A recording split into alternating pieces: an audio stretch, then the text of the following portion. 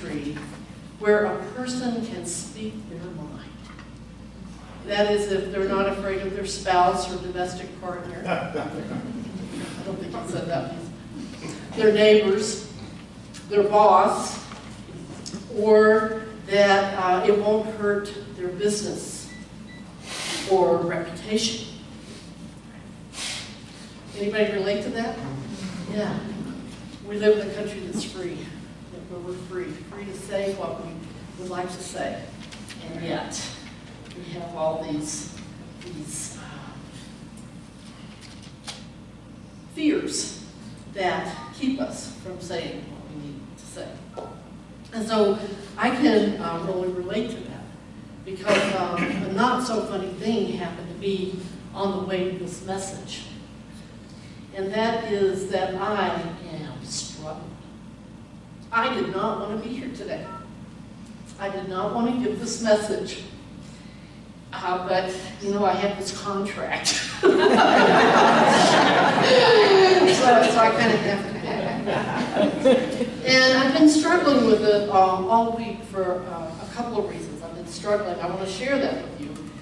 I struggled with giving a message on freedom from a generic, uh, in a generic context.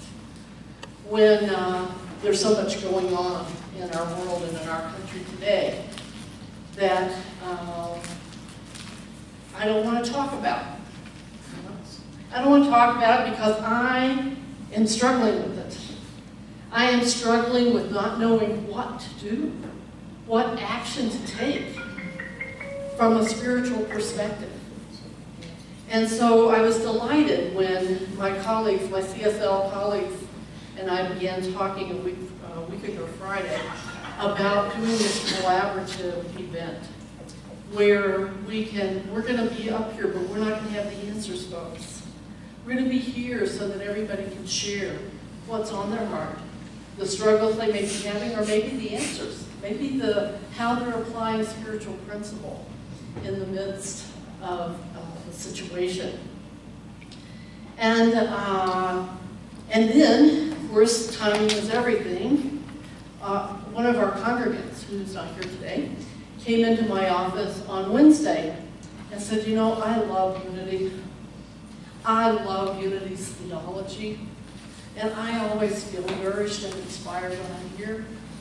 But you may not be seeing me very much because I'm going to this other church where they're talking about what's happening in the world. And unity isn't talking about it. Whew. So I've been struggling. I've been struggling because, um, uh, well, first of all, I've realized that it's not about politics, you know, but that social justice issues today have been politicized, okay, with the different parties taking different positions and all of that stuff. And I could care less about politics. I, what I care about, and I don't have I care on the back of my shirt today, but what I care about is social justice. And I care about our spiritual principles. Where we have spiritual principles of love and compassion and oneness and beholding. We sang about it today. I thought, there it is again. You know, here we are. We're singing about beholding the Christ in others, beholding the divine in others.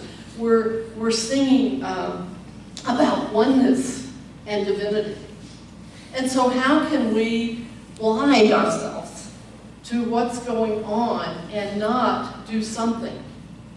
And one of our, our, the CSL centers in Riverside, California did a wonderful candlelight vigil uh, last Friday to, to, uh, to at least from a spiritual perspective hold the situation in prayer. And our own Deb Caswell, our board president, threw an event together last, what was it, Tuesday night? Tuesday night in the medicine wheel, and we didn't even have time to publicize it. because it was, she was just in, so inspired to do something. And so there was probably, uh, I don't know, 10 of us that gathered in the medicine wheel with drums. And, uh, and she uh, read this beautiful prayer that she adapted, that she found online. And we just held um, all people in our hearts and prayers. And we um, honored the divine in everyone. Know? And we held, you know, we prayed. And we created and held sacred space. And uh, so we, we did something, you know? We did something. And so we're going to do something again on July 20. And really hope that any of you who want to do something, you know, create a prayer service, create whatever it is, hold a meditation, do some maybe singing bowls and uh, drumming or whatever. But we're going to do something to raise consciousness, to transform lives, and to heal the planet.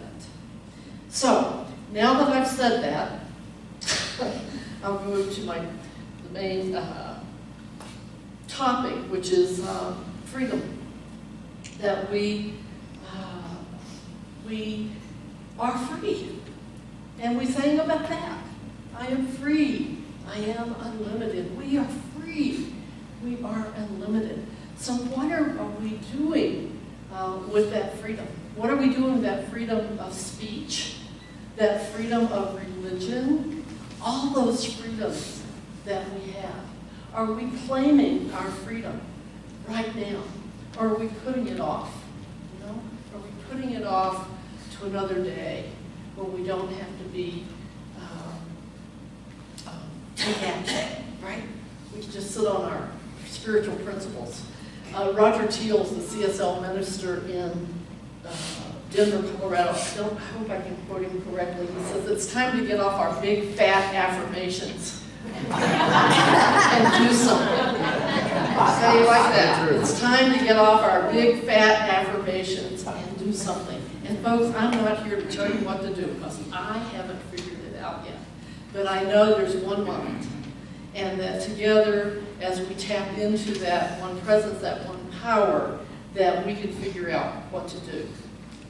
Um, Byron Katie says, every stressful moment you experience, I think it's interesting that we have uh, the work starting here on this coming Monday night, but every stressful moment you experience is a gift that points to your freedom. every stressful moment is a gift that points to your freedom. And so when I talk about freedom, I always think of Bobby McGee. And that just that one line, the rest of the song doesn't work, as Catherine pointed out to me when I asked her to sing it.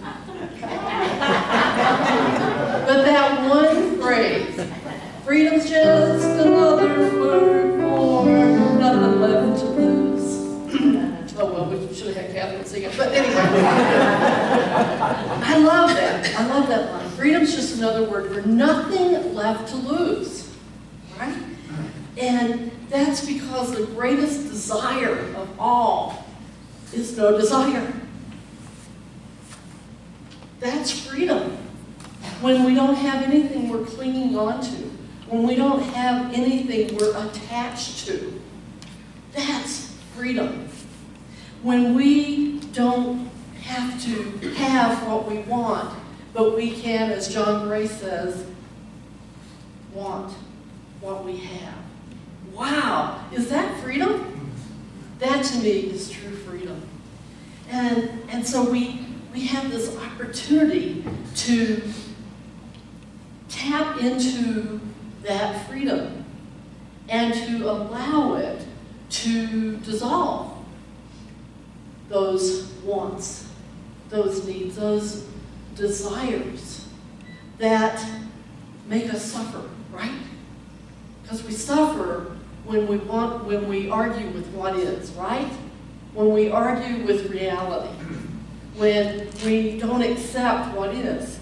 So even in this situation with these families and these children being uh, parted and put in cages and whatever else they're doing. We have to get to that point where we have to accept that that is, you know? But accepting what is doesn't mean we agree with it. It doesn't mean we condone it. It means that we acknowledge it. We acknowledge what is, right? We deny it power, right? That's a spiritual solution. To deny it power to make us miserable? To make us so miserable that we're wailing and gnashing our teeth and we're of no earthly good to anyone. So we, we have this, this opportunity to acknowledge the condition, to deny it power to make our lives uh, miserable, and then to, uh, to know the truth. To know the truth, to know the truth that this concept, this value, I don't know about you, but I'm a seven on the Enneagram, and freedom is my most cherished value. I'm sure that's why I come to Unity, because nobody shoves anything down my throat, right? I, I have the freedom uh, to, to take whatever spiritual principles that are taught here, that are universal in nature, and apply them in my life to give me freedom. Because you will know the truth, and the truth will set you free.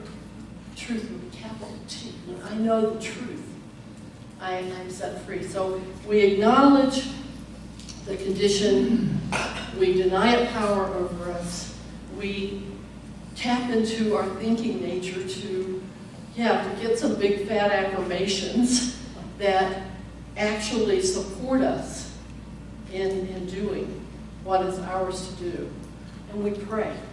We let all of that go so that in prayer, which in unity really is the silence, in the silence we might tap into that presence, that power, that wisdom that lets us know individually, because what's mine to do isn't what's yours to do, and what's yours to do isn't what's mine to do. So we have that opportunity to sit in that sacred uh, silence and to um, just allow ourselves to be. So that when we come out of that silence, we have, um, we get the ideas, right? The divine ideas. Because the silence is the silence. Nothing happens in the silence. But it's the, uh, it's uh, mm, the, the place where it's all, the substance is, where all that we need to know comes from. Okay? And, and so we acknowledge, we, um, we accept, we deny power, we check out our thinking. Is our thinking thinking thinking, or is it thoughts of love and compassion and truth? And, uh, and then we, we pray. We hold sacred space to be guided, to be directed from within. And then we give thanks. We give thanks in advance that we know what to do, even if I don't know it right this minute. That I know there is that within me that knows what to do. There is that within me that is all wisdom, all knowing, all love, all compassion that is guiding me right now to the extent that I am open and receptive to it.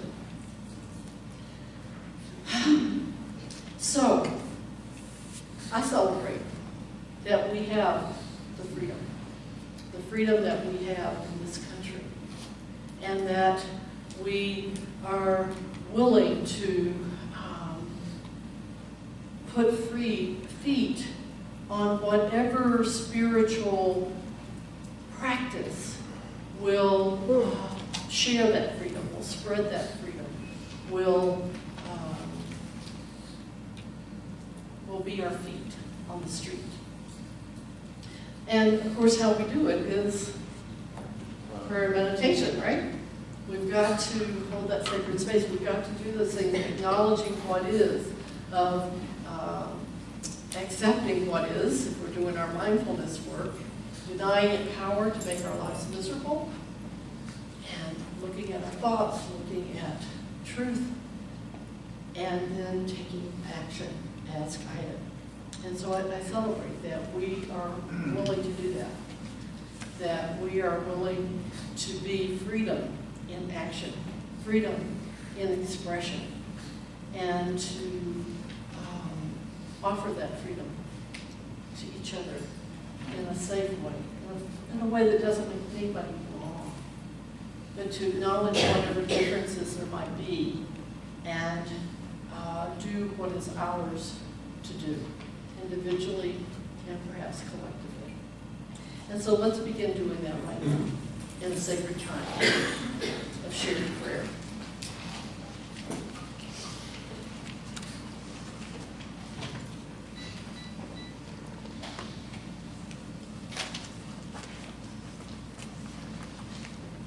So I invite us to become fully present to this moment. To become fully present to what's going on in our bodies, in our minds, in our hearts.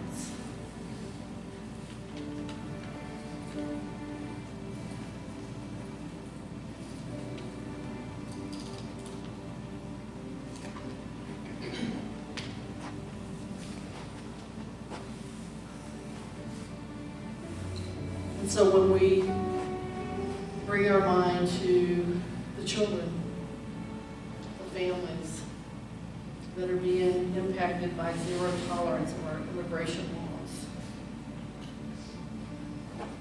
I invite you to just feel what's on your heart about this situation. Feel it in your body. Be aware of your thoughts about it, your emotions.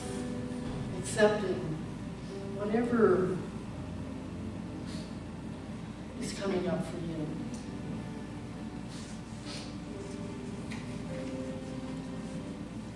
Acknowledging the situation and perhaps any feelings of powerlessness that you and I may have about it just acknowledging what is.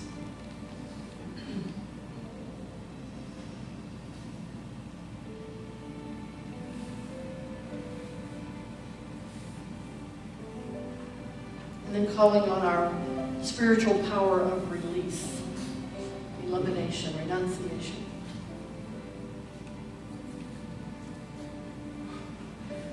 to deny the situation and our thoughts and our feelings and our emotions about it any power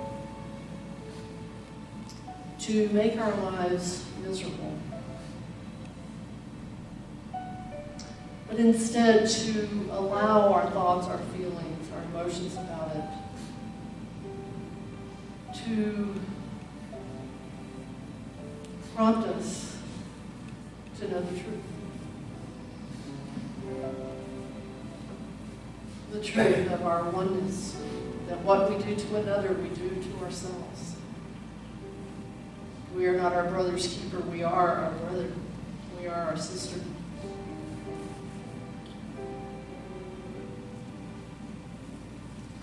Know the truth, that we are all beloved expressions of the one presence, of one power that is our divine nature. That is our source.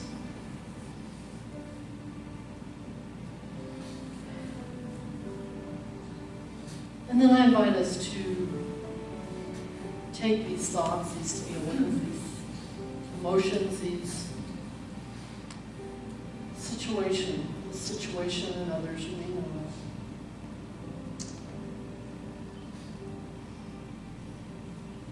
of. And bring it into the heart.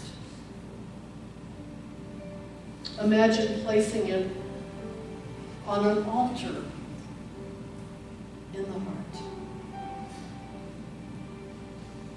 Turning it over.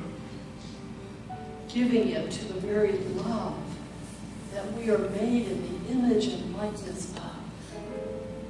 Knowing that that love knows exactly what action to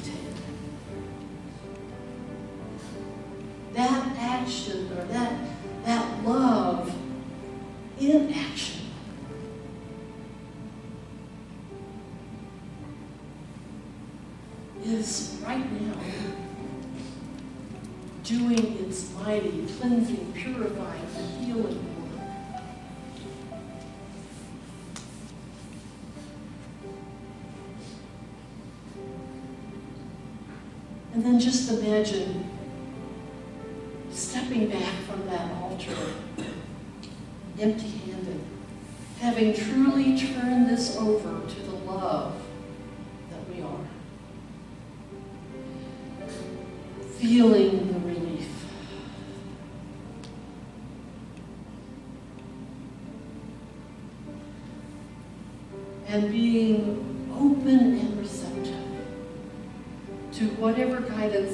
to us in this moment, later today, tomorrow, next week. That's our job. We've given it to the love we are. And now of our humanity, we're stepping back and we're open and receptive to what love in action would look like for each one of us individually. And I invite us to in that question of what is mine to do? What would love do now in the silence?